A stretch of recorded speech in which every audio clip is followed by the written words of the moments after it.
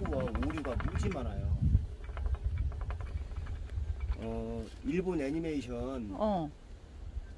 그 개구리 왕눈이에 보면 거기에 나오는 오류와 허구가 있거든요. 아 그게 일본 애니메이션이에요? 네, 일본 애니메이션인데 네. 거기에 나오는 허구와 네. 오류가 있어요. 네.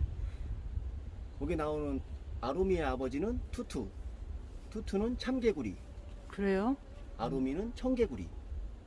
그러니까 투투는 계부이거나 아니면 아로미가 혼혈이거나.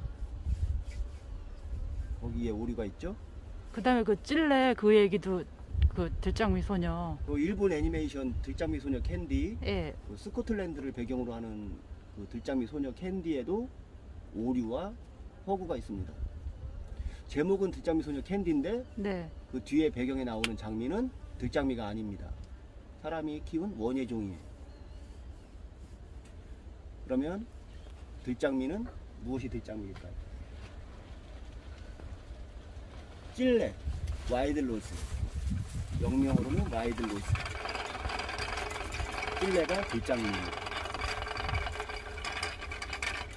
그리고 여기 부천에서 태어난 아기 공룡 둘리 1983년생이거든요. 여기 명예시민인데 거기에도 허구와 오류가 있습니다. 아기 공룡 둘리는 티라노사우루스. 그 엄마는 초식 공룡 브라키오사우루스. 그러니까 그 엄마는 계모이거나 아니면 둘리가 혼혈이거나. 세상에는 이렇게 잘못 알고 있는 오류, 오류인데 그게 마치 맞는 것처럼 응? 그렇게 살아가는 부분이 많고 또 그렇게 오류도 많습니다. 허구도 많고 바로 보고 바로 직시하고 바로 간파하고 바로 통찰하고 그렇게 심오하게 바라볼 수 있는 좀 안목이 좀 필요하겠죠.